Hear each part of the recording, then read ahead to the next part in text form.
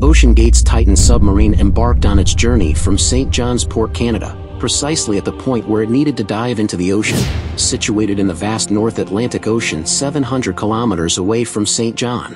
At this very location the haunting wreckage of the Titanic rests beneath the cold water. The expedition was scheduled for Saturday, June 17, 2023, and as planned the following morning at 8 o'clock, the Titan was set to be lowered into the water. However, just before the dive, a defect was noticed in the Titan. Even so the crew took a brave leap of faith, risking everything, and plunged into the sea. Intrigued to know the outcome? Subscribe Lubadah and let's find out together what happened next. In June 2023, OceanGate hosted a costly deep-sea tour for five wealthy individuals. Their destination is haunting wreck of the Titanic, the Titan, having journeyed to the Titanic twice before had seemingly succeeded in its earlier dives. But tragedy struck on this ill-fated tour. Sadly, the third dive, joined by five billionaires who each paid $250,000, ended in a sensational disaster. May their souls rest in peace. Now, Here's the captivating twist, what really led to the disaster, let's find out. Starting from the Titanic curse, a captivating enigma. Since James Cameron's epic Titanic captured the world's imagination on the big screen,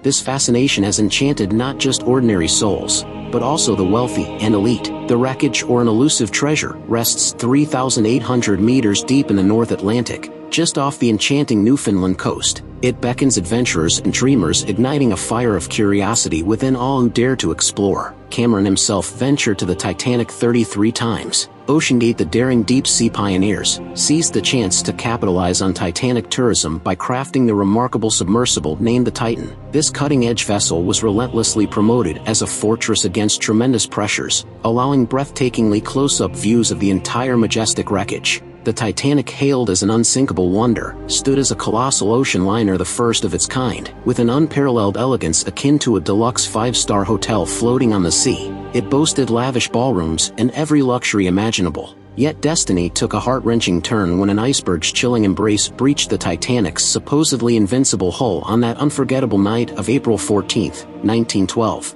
The once majestic ship succumbed, claiming the lives of 1,500 in the icy Atlantic waters. But amidst this tragedy, there was an even more harrowing ordeal faced by the five unfortunate souls aboard the Titan, who found themselves on the brink of oblivion, their existence hanging by a thread as the unforgiving waters closed in on them. At a staggering depth of 3,800 meters, the Titan finds itself ensnared in a vice-like grip of water pressure equivalent to the weight of 220 majestic elephants bearing down upon it. And when it comes to the Titan, its very construction became a subject of concern among the scientific minds. It deviated from the conventional path of safety, as OceanGate dared to prioritize artistic design, pioneering technology, and spacious interiors, but little did they know that this choice might have paved the way to the Titan's eventual doom. As one critical error of judgment took a haunting question, will the Titan's fate be sealed by the choices made in its construction? Titan's haunting demise a mere 340 meters from the majestic Titanic, the hull itself a central point of concern in this tragic tale, raised eyebrows among experts who questioned OceanGate's choice to use carbon fiber instead of the more robust titanium. Imagine the hull, a crucial component 5 inches thick and crafted from unconventional carbon fiber, designed with a cylindrical vision to grant its occupants more space. A bold departure from the typical dome design embraced by most deep-sea submersibles. Even with a composite carbon fiber hull boasting the expertise of NASA, it couldn't defy its fate, ultimately imploding under the immense pressure. Could the carbon fiber material and hull shape be the culprits behind this catastrophic event? Or does the answer lie in the testing processes employed? Only time and careful analysis will unveil the truth lurking beneath the depths. Plunging humans into the abyss demands rigorous scrutiny and testing, microscopic checks for every body part you'd expect. But here's the shocker, OceanGate did nothing. Can you fathom it? No virtual model, no conventional testing for their devices. It's like venturing into the unknown without a care in the world. In the aftermath of the disaster, the truth burst forth like a bolt of lightning. Former OceanGate Director of Marine Operations, David Lochridge, decided to break his silence revealing a riveting tale from his time with the company.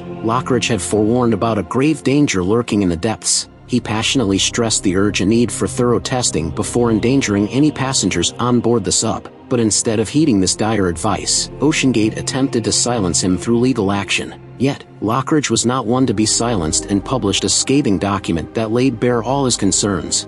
Boldly claiming that the Titan was a disaster waiting to happen, and what fueled his conviction, an inspection report that refused to certify the sub's suitability until crucial corrections were made. An absolutely crucial piece of information from the engineering department was deliberately concealed from Lochridge, involving Titan's viewport. Brace yourself for the shocking twist. The report clearly stated that the Titan's viewport was certified only for a pressure of 1,300 meters, yet OceanGate recklessly sent the sub plunging down to unfathomable depths of 3,800 meters. But the hair-raising revelations don't end there. Lochridge's report laid bare the company's shocking refusal to invest in a viewport that could withstand the required depth of 4,000 meters. It's almost too hard to believe that such a critical safety aspect was neglected, putting passengers' lives on the line. Experts suggested a chilling possibility. The Titan might have developed sinister microcracks, lurking unseen beneath the surface. And yet, this potential catastrophe remained unchecked. The testing that followed proved to be insufficient in certifying the sub's safety. OceanGate appeared to have turned a blind eye to crucial factors that could have made all the difference. Instead of embracing non-destructive and unmanned pressure testing, they opted for a method better suited to detecting safety issues.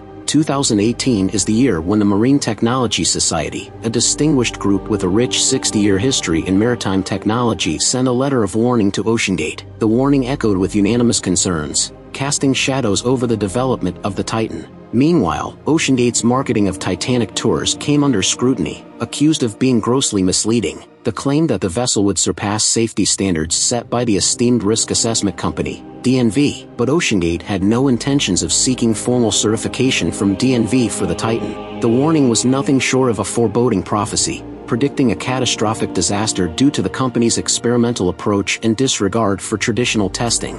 The Titan lost all contact just 45 minutes into the dive, leaving its mother ship the Polar Prince. The crew's last moments were shrouded in mystery, haunted by the malfunctioning systems that plunged them into darkness. The sub's end caps were made of titanium, yet it provided little solace. The crew's plight was far worse than imagined. Locked inside, unable to escape, they were like chicks trapped in a deep-sea coffin. Another shocking thing is that Titan was equipped with video game controller. Surprising right? Yet, these controllers are more versatile than you'd think. They're even used in military applications due to their sheer convenience. The crew amidst mysterious malfunctions and strange noises, bravely ascended, alerting the Polar Prince before losing communication. What lies beyond that moment is a tantalizing enigma, leaving everyone guessing. And here's the heart-pounding climax. Meet Jose Luis Martin, the engineer with a different perspective. He believes the crew on board knew what was coming in the minutes before the implosion. According to him, an electrical failure could have left them powerless to control the sub,